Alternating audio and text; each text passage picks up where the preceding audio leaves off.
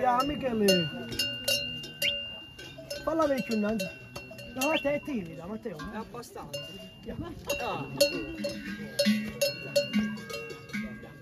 Magolina. Lei è Michelina, è la mia prima mucca, me l'hanno regalata alla comunione e oggi li mettiamo la campana a festa perché oggi è un gran giorno di festa. E voi erano così.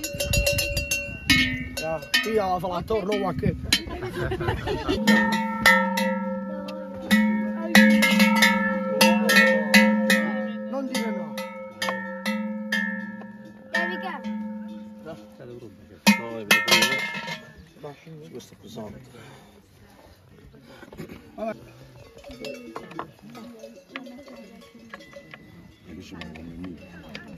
Ora dietro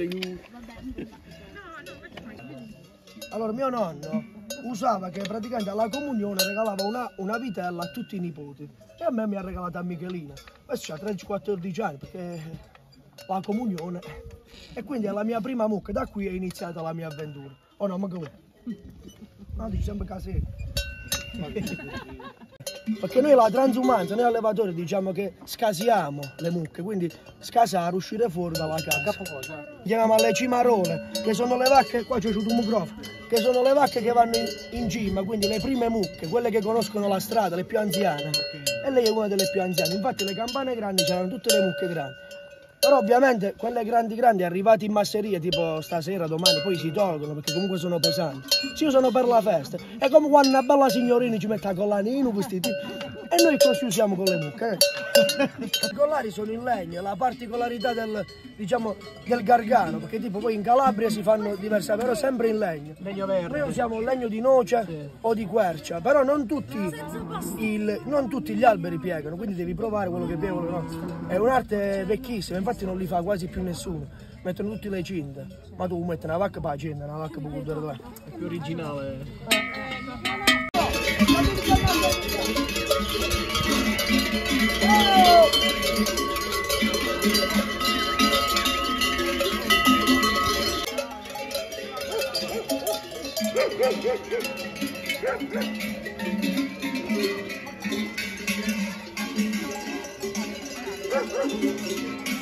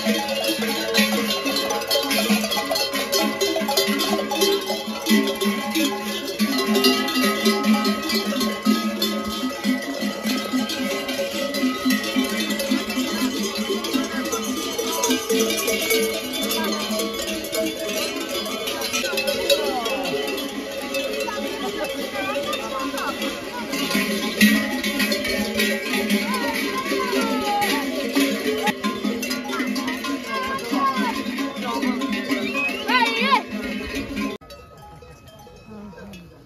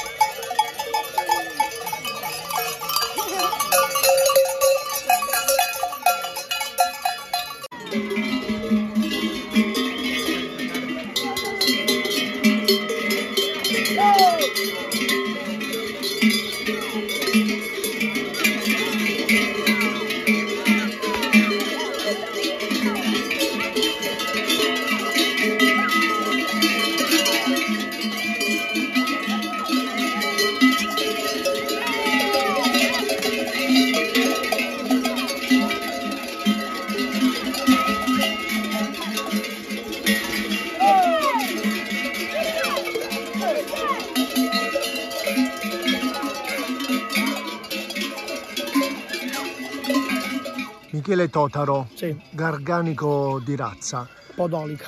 Podolica. Raccontaci un po' eh, la tua carta d'identità e cosa stai facendo perché tu alla tua giovane età stai dando un grandissimo esempio di cosa il gargano può dare sia alle nuove generazioni sia a, dire, alla promozione del territorio. Allora io eh, sono- ho 23 anni e sono nato con questa, non è una passione, a me è una malattia che ho per il mestiere che ho, è una cosa che non riesco a fare a meno di questa cosa qua.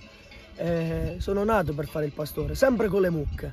La passione mia sono sempre state le mucche, poi ho iniziato a prendere le capre, insomma, però sempre le razze autoctone, quindi riprendere la storia, il nostro passato, perché secondo me siamo usciti troppo avanti, siamo andati troppo avanti, quindi bisogna tornare un po' indietro, bisogna tornare alla terra, alle radici, quale la podolica, la garganica, la masseria, la transumanza. Raccontaci la tua giornata tipo. Eh, la mia giornata tipo dipende dal periodo dell'anno, tipo in questo periodo alle 4 e mezza ci, ci svegliamo e iniziamo a mungere, prima le mucche poi le capre. Poi mi lavoro il latte delle mucche per fare il caciocavallo podolico e quello delle capre per il cacio ricotto. E poi devi fare tutti, mangiare i maiali alle galline, devi accompagnare le capre ai pascoli, le mucche, insomma si inizia col buio e si finisce col buio. Però non ti senti, quando fai la cosa che ami non stai mai stanco. Allora, in Vichese la dichiarazione d'amore per il tuo territorio e il messaggio ai giovani. Allora, io sono originario di Monte Sant'Angelo e vivo a Vico del Gargano, sono due paesi speciali. Io dico ai miei coetanei, non ve ne andate tutto quanto, oppure se ve ne andate, fate un bel bagaglio e ritornate qua, perché quello che abbiamo noi nel Gargano non lo tiene a nessuno avanti. Quindi sì, andate in città, fate l'esperienza, studiate, ma poi tornate qua e mescoliamo la tradizione con la sapienza. Questo.